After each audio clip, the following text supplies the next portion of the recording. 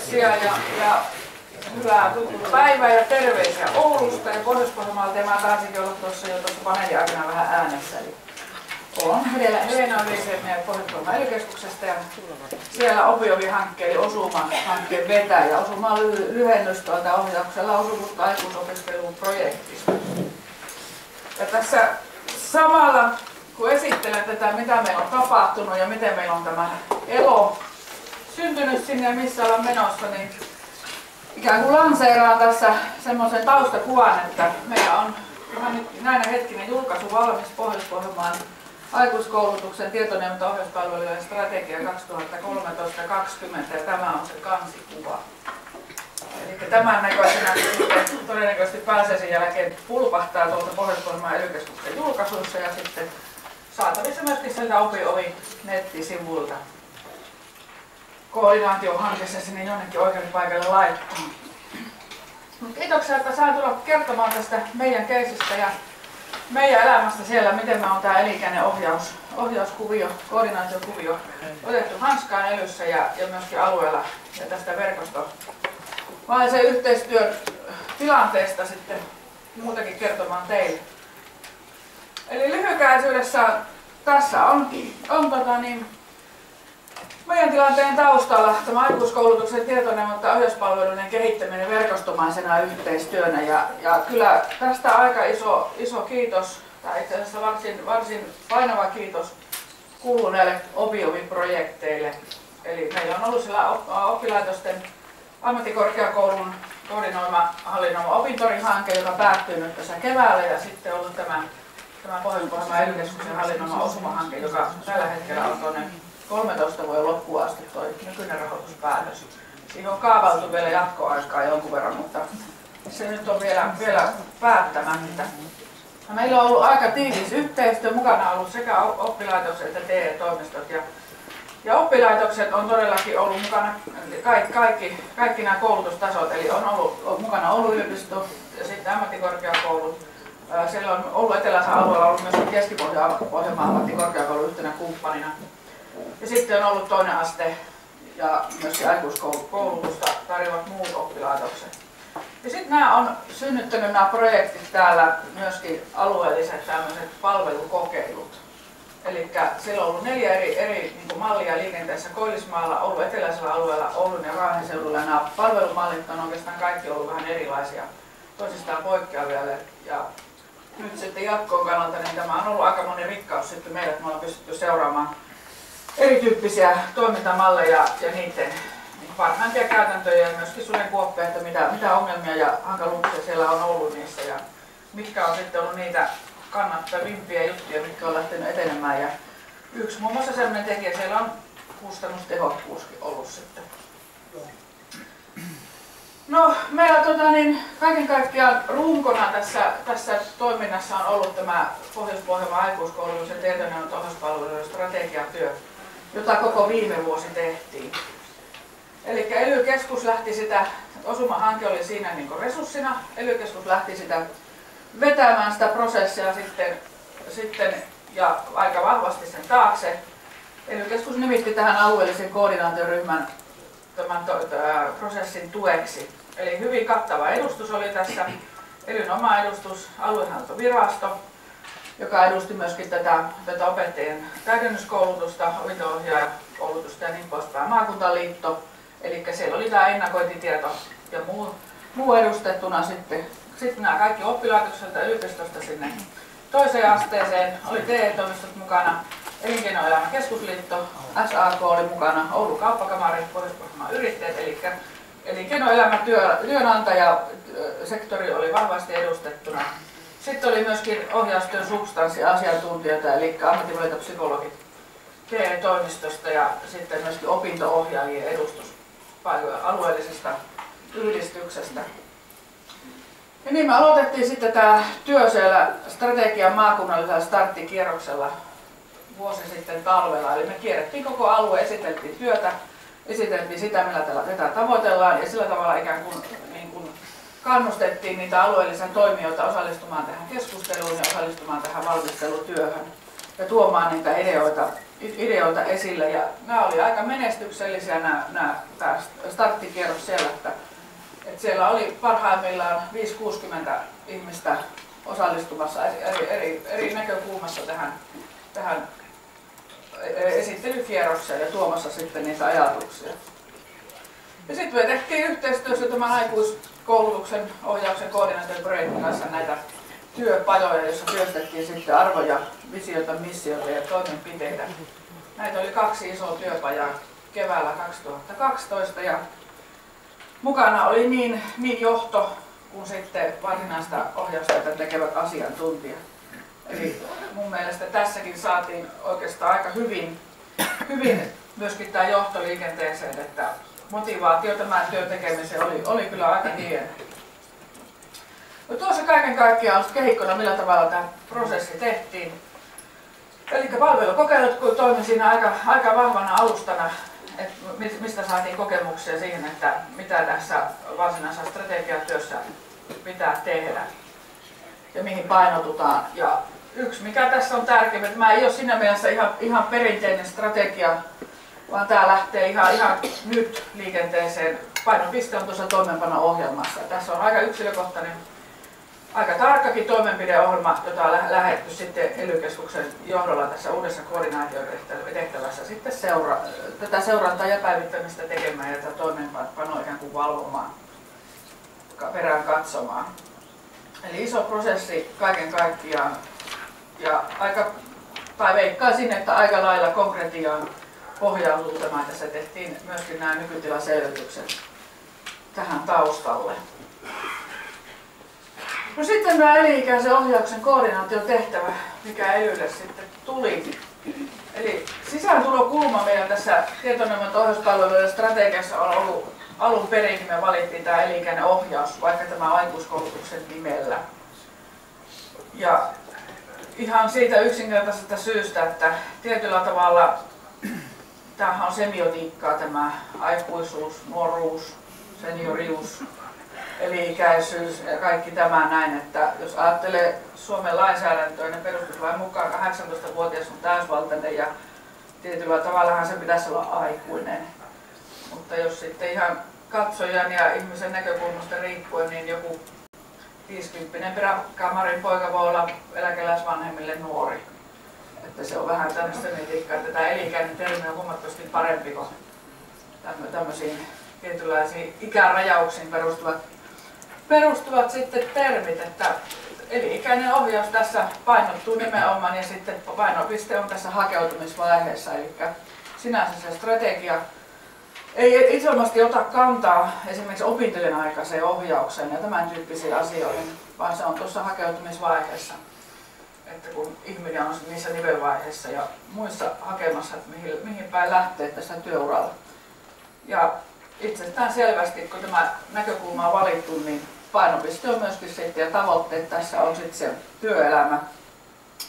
Eli elinkeinoelämän työnantajien ja, ja työmarkkinoiden näkökulma tässä painottuu sitten tässä meidän tarkastelussa. Siksi tässä kansikuvassakin yksi noista kylteistä, mikä tuo taistella hahmottaa, on tuo töitä. Se, sinnehän sitä tähätään myöskin tällä kouluttautumisella. No sitten me valittiin tähän myöskin, myöskin alusta asti nämä samat strategiset tavoitteet kuin tässä opetus- ja kulttuuriministeriön elikäisen ohjauksen kehittämisen strategisissa linjauksissa. Eli me lähdettiin sitä toimenpideohjelmaa hahmottamaan myöskin sen pohjalta, että, että on, on ne viisi painopistettä, eli tietoneuvontaohjauspalvelu on tasapuolisesti saatavissa ja ne vastaavat asiakkaiden tarpeita. Yksilölliset urasuunnittelutaidot vahvistuvat ja sitten ohjaustyötä tekevillä on riittävä ja asianmukainen osaaminen. Ja sitten laatujärjestelmiä kehitetään ja viimeisenä sitten se, se palveluja kehitetään koordinoituna kokonaisuutena ja niihin me sitten hahmoteltiin tämä toimenpideohjelma. Yksi sitten, mikä tässä paljon vaikutti taustalla, oli tämä nuorisotakuun voimaastuminen nyt tämän vuoden alusta.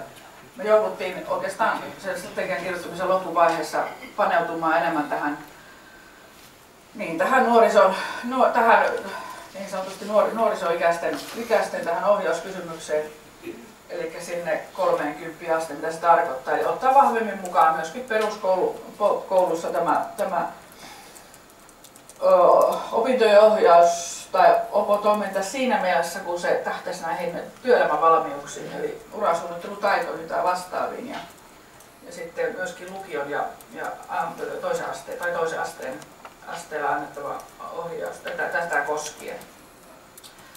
No sitten muutama taustalla vaikuttanut asia myöskin meidän elyssä oli tämä OKM TEMin SM ohjekirje viime kesältä elylle toiminnallisen tulossopimuksen aikaansaamiseksi. Siellä kuvattiin aika seikkaperäisesti sitä, mitä ministeriöt haluaa tähän tulossopimukseen, tähän eli-ikäisen ohjauksen teeman alta ja sitten lopullinen asiakirjahan on toi, toi tulossopimus, mikä on sitten allekirjoitettu tammikuussa OKM ja TEMMin, TEMMin kanssa. Eli siellä on tämä eli-ikäisen ohjauksen koordinaatiotehtävä otettu elyssä vastaan. No tämä on sitten mitä, miten me organisoitiin se Pohjois-Pohjanmaalla. Eli tämä alueellinen eli-ikäisen ohjauksen, ohjaus- ja yhteistyöryhmä on perustettu. Ja tämä on ei-vastuualueen johtaja Leila Helakosken nimittämispäätöksellä tehty tammikuussa tänä vuonna. Tämä on sitten suoraan se entinen Pohjois-Pohjanmaan aikuiskoulutuksen tietoinen strategian koordinaatioryhmä, eli se asiantuntijatukiryhmä otettiin tähän pohjaksi. Jonkun verran päivitettiin näitä osallistujia siellä, tai osallistuvat tahot saivat päivittää niitä omiansa ja sitten laajennettiin, laajennettiin sitä joukkoa ja myöskin tämä TE-toimistojen uudistus aiheutti siihen sitten jonkun verran muutoksia. Aikaisemmin oli TE-toimistojen edustus ollut alueellinen tai, tai seudullinen, niin nyt sitten oli tämä yksi ainoa, yksi ainoa TE-toimisto edustus siellä. Ja siinä mielessä tämä, tämä koordinaation strategia, strategian koordinaatioryhmä oli merkityksellinen, että tässä oli puheenjohtajana meillä tämän TE-toimi, tai tulevan pohjois TE-toimiston johtaja, ja sitten varapuheenjohtajana oli suurimman aikuiskoulutuskeskuksen vararehtori, että molemmat sekä TE-hallinto että, että tota, niin, oppilaitospuoli oli edustettuna myös puheenjohtajuudessa tässä, tässä strategian koordinaatioryhmässä. No sitten meillä on kirjattu tähän nimittämispäätökseen, eli tai alueellisen eloryhmän ohjaus- ja yhteistyöryhmän tehtäviin, eli edistää ohjauspalveluiden saatavuutta ja laatua Pohjois-Pohjanmaalla, edistää ja kehittää palveluiden tuottajien verkostoa, yhteistyötä ja osaamista alueella, seurata ja arvioida tämän palveluiden strategian toimeenpanosuunnitelman toteutumista ja päivittämistä, sitten tehdä kannanottoja ja esityksiä elikäisen ohjauksen palveluihin liittyen ely ja ely sitten vie niitä eteenpäin. Ja sitten meidän puitteissa puheenjohtajaksi on tässä nimitetty osaaminen ja työelämäyksikön päällikkö Anna-Liisa Hietala. Ja sitten minä toimin siinä, siinä sihteerinä. Varapuheenjohtajana edelleenkin tässä eloryhmässä on, on Oulun aikuiskoulutuskeskuksen vararehtori vararehtori sitten, että oppilaitostaso tähän on edustettuna myöskin, myöskin edelleen tässä varapuheenjohtajuudessa. Lisäksi tässä on mahdollisuus perustaa jaostoja tai muita, muita tämmöisiä pienempiä elimiä, jos on joku semmoinen tarve.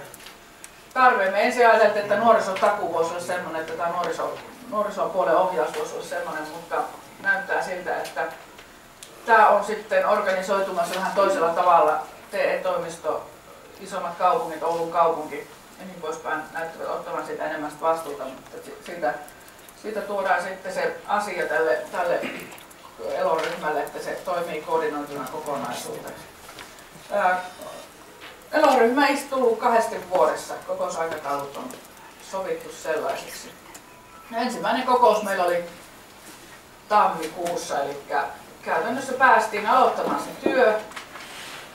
Paljon ei ole siinä sinänsä, sinänsä vielä, vielä tehty sitä, että mitä käytännössä tarkoittaa esimerkiksi siis palveluiden saatavuuden koordinointi tai tämmöinen. Että nyt tehdään, tehdään niitä käytännön toimia. Seuraava kokous elokuussa on elokuussa, että siellä sitten aletaan varsinaisesti siihen työhön pureutumaan. Mutta yksi semmoinen tärkeä näkökulma tässä oli meillä, että ensimmäisenä lähdetään laajentamaan tätä verkostoyhteistyötä. Tämä nuorisotakuu oli, on, on tässä taustalla. Meillä oli erittäin hyvä yhteistyö näiden hankkeiden puitteissa oppilaitossektorin ja TE-hallinnon välillä. Ja, ja nyt on tai nyt tähän verkostoon, jossa on ollut nyt jo, jo tämä pohjois TE-toimisto, osaamisen kehittämisen palveluiden ja urasuunnittelupalvelut. Täällä on muuten Marjo Pekkonen, meidän palveluesimies täältä, täältä TE-toimistosta mukana. Ja sitten tietenkin toinen tärkeä kumppani TE-toimistosta on sitten myöskin tämä tuoton työllistämisen palvelut, missä on paljon sitä nuorisopuolta ja sitten myöskin pitkäaikaistyöttömyyden asiaa.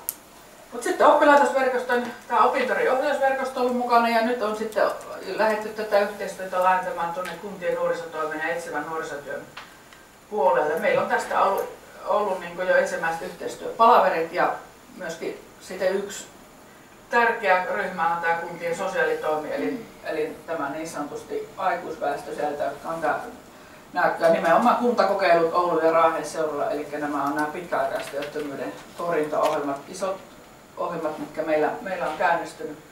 Siellä on, on erikseen aika paljon näitä, näitä ohjaajia sitten, sitten näille, näille ohjelman asiakkaille, jotka näissä ohjelmissa sitten on. Ja hekin ovat osallistuneet aika kiitettävästi näihin meidän yhteisiin tilaisuuksiin. No, alueellinen yhteistyön neuvottelukierros aloitettiin tammikuussa, eli siellä oli juuri nämä, nämä ohjaajat mukana, joiden asiakkaana on nuoriso, etsivä nuorisotyöohjaaja ja sitten oli nämä, nämä kuntakokeilun ohjaajat mukana.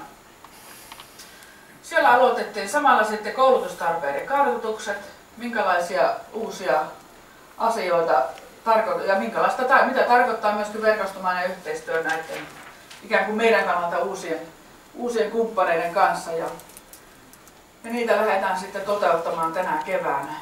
Sitten me lähdettiin myöskin lisä- ja täydennyskoulutusten suunnittelua organisoimaan. Eli ensimmäinen verkostovalmennuspäivä meillä oli jo tässä kuussa ja kiitos siitä taas hyvästä yhteistyötä Jyväskylän ammattikorkeakoululle ja aikuiskoulutuksen ohjauksen koordinaatiohankkeen. Hannele Torvinen teki ison työn siellä meillä. Aika raskas päivä. Oulussa oli pääpaikka ja sitten videoyhteys oli Raahe ja Yliviskän Haapervelle. Siellä taisi olla 60-70 ihmistä kaiken kaikkiaan koulutuksessa. Se oli iso ponnistus ja todella saa paljon kiitosta ja toiveita, tai toiveita että lisää vastaavaa, että vastaanotto oli kyllä hyvä. Ja sitten tuossa lyhykäisyydessä yksi kuva. Tämä on sieltä meidän strategiasta, jossa on hahmotettu näitä meidän alueen eli-ikäisen oppimisen tietoneuvot ohjauspalveluja ja palveluja tuottavia toimijoita. Tässä on pitkästi toista sataa tahoa, jotka antaa ohjausta, neuvontaa tähän liittyen. Ja näissä meidän hankkeissa aikaisemmin on, on niin toimittu yhteistyössä näiden oppilaitostahojen kanssa, TE-toimiston kanssa, sitten tämä vapaa sivistystyö, kolmas sektori, oppisopimuspuoli on ollut mukana ja nämä muut koulutusta, yritystoiminta järjestävät organisaatiot ovat olleet mukana. Mut nyt on sitten lähdetty laajentamaan tätä yhteistyösektoria tänne työelämäorganisaatioihin. Työmarkkinajärjestö tarjoaa uraohjausta jäsenilleen. Samoin Pohjois-Pohjanmaan yrittäjät ja täällä on myöskin omat hankemuotoisena tosin, mutta omat niin ohjauksen, ohjauksen sisältäviä projekteja myöskin. Ja sitten yksi on tuolla ylempänä tuo iso sektori, eli tämä kuntien sosiaali-, terveys- ja nuorisotoimi.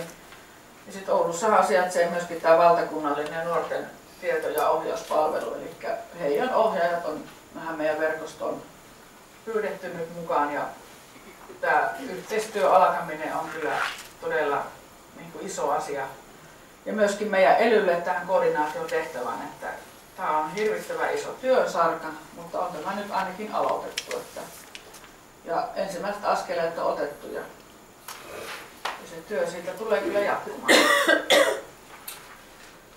Sitten mä päätän tämän vielä tähän, tähän tämä tekstin pätkä, nämä on alkusanat meidän strategiasta, jotka on kirjoittanut, tai nämä on meidän johtajan, Evastuolla johtajan Eila Helakosken sulkakynästä. Minun mielestä tämä kuvastaa tämä sanoma tässä aika hyvin sitä meidän Pohjois-Pohjanmaan elyn henkeä, tahtotilaa ja paneutumista ja sitoutumista tähän uuteen alue, alueelliseen elon koordinaatio tehtävään, että ei tätä oikeastaan voi niin paremmin sanoiksi pukea kuin mitä meidän johtaja on, on tähän kirjoittanut.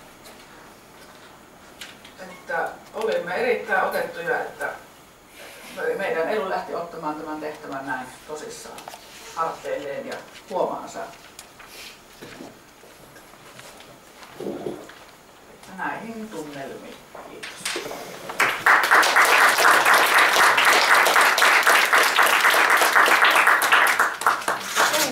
tuota, niin, tähän on aina jätetty jokaisen keissin jälkeen hetki aikaa niin keskustelulle ja kysymyksille, että nyt voi esittää sitten tästä Helenan esityksestä kysymyksiä. Mutta tosiaan ne teistä, joilla on tietokone ja muut pimpaimet mukana, niin opinovi.fi, sieltä sivuilta löytyy niin tuota, nämä kaikki aineistot. Aineistot kyllä, voi sieltä katsella. Mutta kysymyksiä.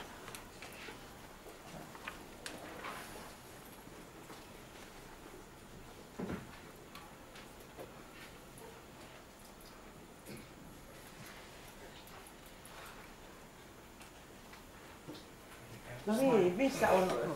No niin. Täällä oli ainakin ollut näitä nikkiä tai... Joo, kato, ei tarvii huutaa. Joo, eli sä mainitsit sen avipuolen siellä ja sä sanoit, että se on se täydennyskoulutus, niin onko se, se, se on se osaava? Osaava ohjelma. Se on No just se se. Joo, hyvä. Okei, oliko joku vielä täällä?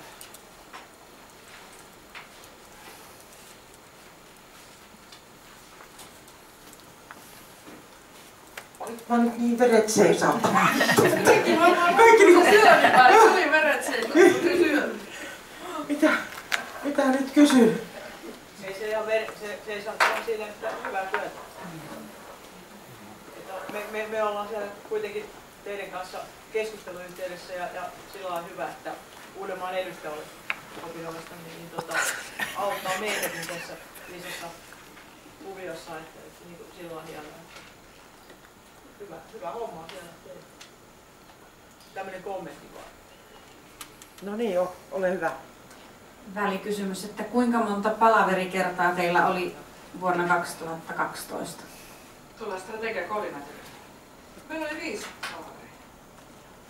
Semmoinen reilu parin kuukauden välein kesällä tietenkin.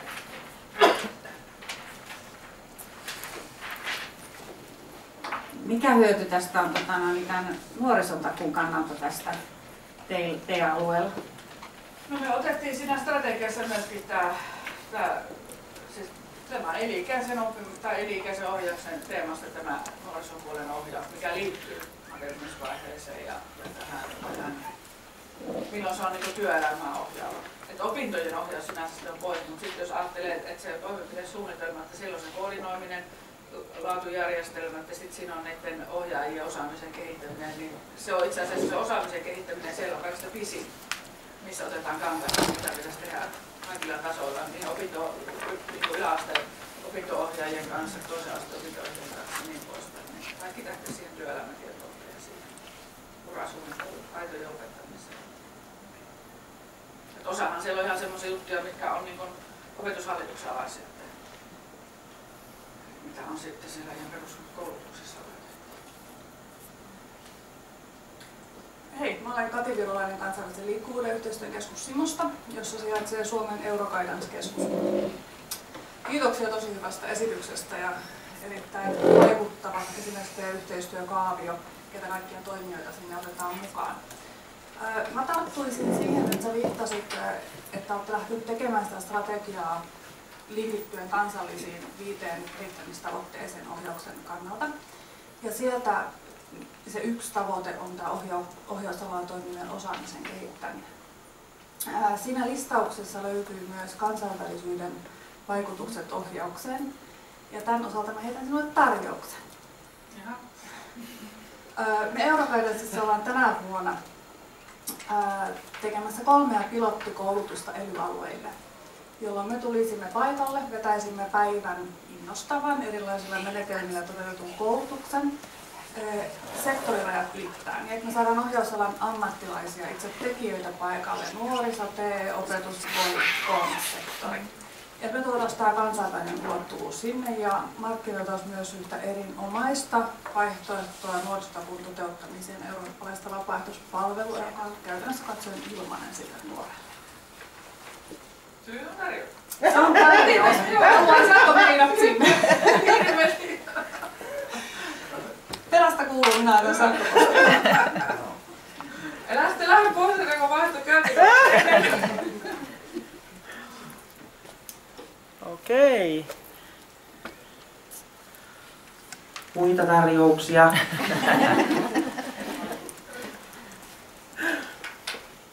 Kysymyksiä?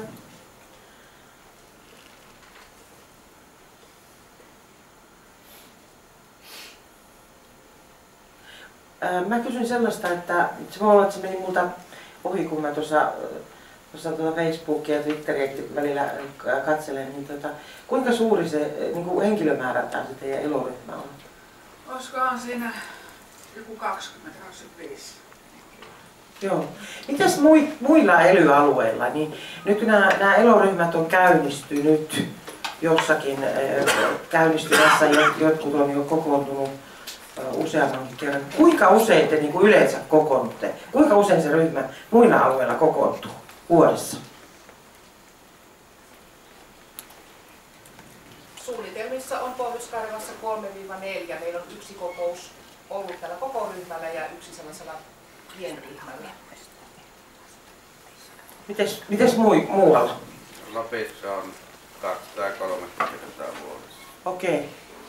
Uusimaa on tota 2-4 tavoite, mutta hyvä kun sanoit kaksi, niin päässään helposti. Mutta 2-4 on se tavoite ollut sit suunnitelmassa. Onko se Keski-Suomessa on varmaan sama, en ole itse siinä ryhmässä niin sen kerran jo kokoontunut ja toisin jo tiedän, että on todella siellä ollut.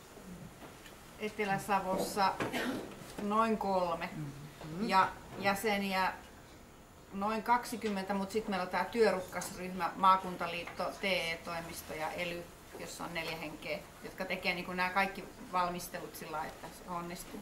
Kokoontuuko työrukkanen useammin kuin? Kokoontuu suurin piirtein vähintään kerran kuukaudessa. Okei. Mites Pirkanmaalla? Pirkanmaalla on alkuvaiheessa on tavoite, että olisi kaksi kertaa keväällä, kaksi syksyllä ja se työrukkanen on nyt tässä tämän strategiatyön myötä tavannut aika tiheästikin viime vuoden loppupuolella. Parikymmentä on se koko, noin 18 taitaa olla tarkka. Okei, eli kuitenkin ryhmi, ryhmäkoko vaihtelee varmaan noin, noin keskimäärin 20, 20, 25 maksimi. Ehkä kokoontumiskerrat on kahdesta neljään. Onko kaikilla työrukkanen? Kellä ei ole työrukkasta? Koska lainaa jostain. Onko työrukkasen ää, kokoontumiskerta keskimäärin valtakunnassa kerran kuukaudessa? Ehkä niin paljon. Ei ehkä ihan. Kerran kahdessa kuukaudessa? Ehkä jotain sellaista, kun tosiaan suunnitteluvaiheessa vasta on ja käynnistymisvaiheessa. Ehkä joka toinen. Joka toinen päivä. Joka, to, joka toinen päivä. Joo. Joo, tässä tuli tehty nyt pienimuotoinen tutkimus. Mitä valtakunnassa eloryhmät kokoontuu ja kuinka suuria ne on. Mutta Ritva, sulla oli joku kysymys. Kaakkois Suomessa kokoontaa neljä kertaa vuodessa ja ö, 25 29 on se koko Okei, eli iso ryhmä, teillä on iso ryhmä. Joo. Joo.